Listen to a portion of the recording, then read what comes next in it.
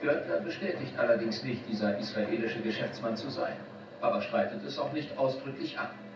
Welchen Einfluss Bestechung im Kongo offenbar hatte, machen die US-Dokumente deutlich. Ein heimliches Treffen im Kongo.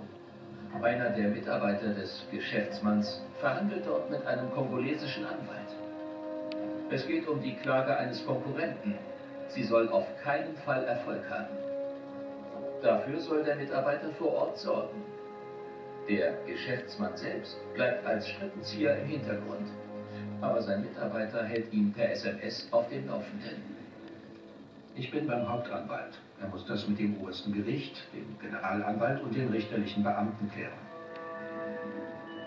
Er will 500 für Offizielle, 300 für Sie, also 800. Für 800 garantieren Sie die Ergebnisse. Sie wollen, dass ich verspreche, dass ich danach noch einmal 100 drauflege.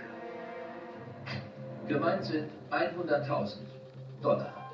Schmiergeld für Anwälte und Richter. Der israelische Geschäftsmann antwortet seinem Mitarbeiter sofort.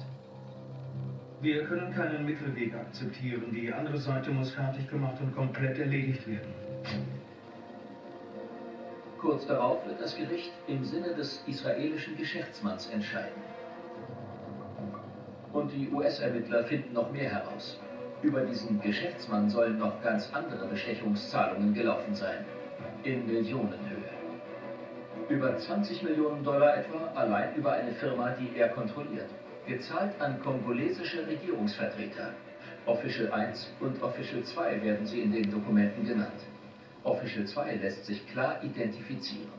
Es ist Katumba Mwonka. Bis zu seinem Tod 2012 galt er als zweitmächtigster Mann des Kongo. Lange Zeit verantwortlich für die Vergabe von lukrativen Minenlizenzen. Er galt als Vertrauter von Präsident Kabila und als enger Freund von Dan Görtler.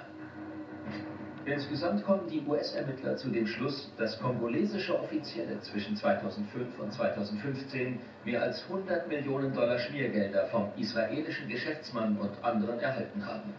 Seine Methoden hat er offenbar nie verschwiegen. Seinen Geschäftspartnern soll er schon im Vorfeld angekündigt haben, er müsse substanzielle Geldbeträge an Offizielle der kongolesischen Regierung zahlen, um Zugang zu den attraktiven Gelegenheiten im Minensektor des Kongo zu sichern. Das US-Verfahren macht sehr klar, dass es Korruption und Bestechung war. Genauso hat es das Ministerium auch gesagt. Es war Korruption in Reinform. Sie haben nicht drumherum geredet. Sie waren extrem klar. Denn Görtler bestreitet, jemals gestochen zu haben. Auf Anfrage schreiben seine Anwälte. Herr Görtler weist alle Anschuldigungen von Fehlverhalten oder kriminellem Verhalten vollständig zurück. Die US-Dokumente seien keine glaubwürdige Quelle. Er sei nicht Ziel der Ermittlungen gewesen und auch nie dazu befragt worden. Der Hedgefonds dagegen gibt die Vorwürfe Ende 2016 zu und akzeptiert eine Strafe von mehr als 400 Millionen Dollar. Glencore hat fast zehn Jahre mit Dan Görtler zusammengearbeitet. Wie eng machen die Paradise Papers deutlich. In den Daten finden sich hunderte Verträge zwischen Glencore und Görtler-Firmen. Beide Seiten halten Anteile an denselben Unternehmen. Sie haben zahlreiche Kreditverträge in Höhe von Millionen von Dollar geschlossen. Eine intensive Geschäftsbeziehung. Mit einem Mann, der mit massiven Korruptionsvorwürfen in Verbindung gebracht wurde? Wie kann das sein?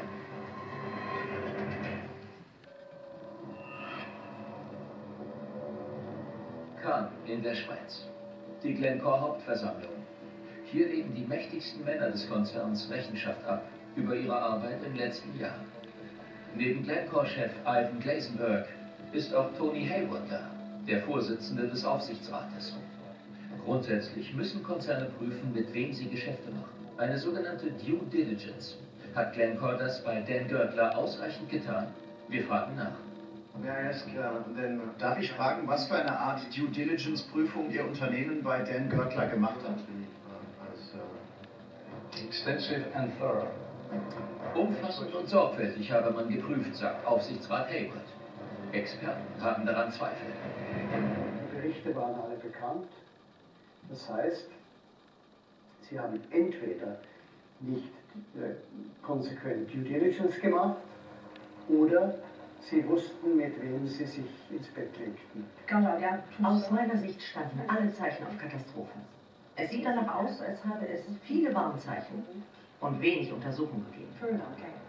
Das bedeutet für mich, dass durchaus die Schweizerische Bundesanwaltschaft die Sache, sich die Sache anschauen sollte.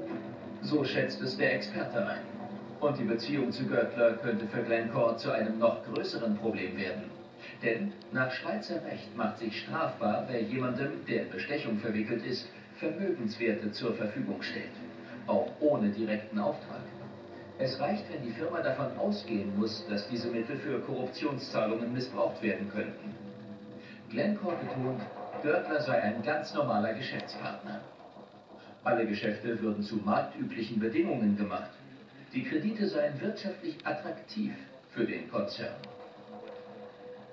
We have, um, as I'm sure you're aware, Wie Sie sicherlich wissen, haben wir Geschäftsbeziehungen zu Firmen, mit denen Herr Görtler verbunden ist. uh, Wir haben in der Vergangenheit Kredite an Firmen vergeben, mit denen Herr Görtler verbunden war.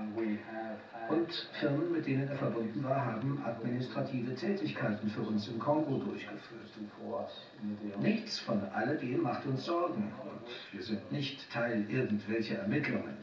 Uh, and we are uh, not part of any of the investigations. Keine Ermittlungen, keine Sorgen. Aber hat Glencore mit Görtler wirklich nur normale Geschäfte gemacht? Der Katanga-Deal in den Paradise Papers wirft weiter Fragen.